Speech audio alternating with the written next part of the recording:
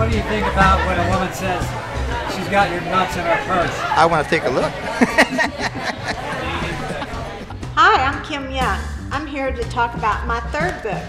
Hello, Dahling, I've got your nuts in my purse. It's a dating satire. My girlfriends and I, talking at happy hour, needed to get a clue. Because she's got some guys on there that she's dated that are very unusual. yeah, yeah. The clue being about dating, because none of us could figure it out. I'm all for free love. We just we need more love. When I threw up during a date. Yeah, that's bad. On your date? Yeah. Well, I, I chuckle and I hope she's not referring to me.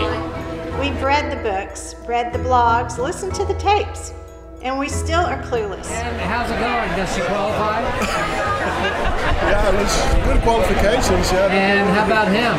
Would he qualify? Oh, he dance. You're here, huh? He's applause. He has a beautiful smile. Look at that smile. How can you don't like that smile? But I, I will confess that I probably dated a few women who thought they had my nuts in their purse. The reason I wrote the books, because my girlfriends and I would go out after work, happy hour, and we'd talk about men and we'd talk about dating and relationships, but we never seemed to really understand what was going on. We just couldn't figure it out.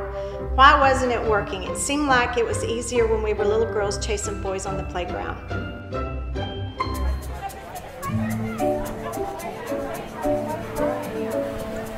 Thank you.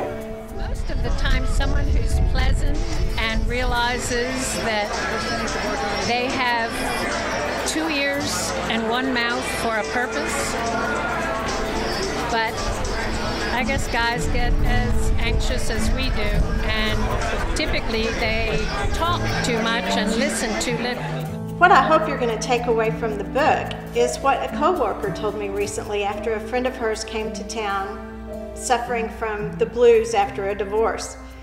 So, trying to cheer her up, she says, I just got this book. We're going to open it and we're going to read it together. And so, what they did was spend a few hours laughing and drinking and having a great time and forgetting life and their problems.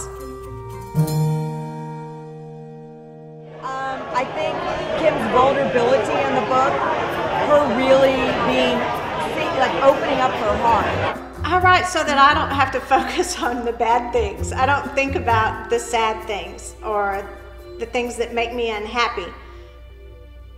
I write and make fun of everybody else. Most of the memories that Kim has in the book are my memories with her. So you're an emotional wreck? No. You can hit me.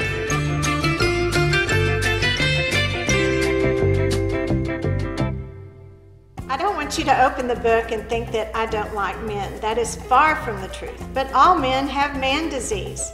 And man disease is a term that I coined to explain all the things that men do that aggravate women. The list can be rather long, so we're not going to go into it today, but you can read about it right here.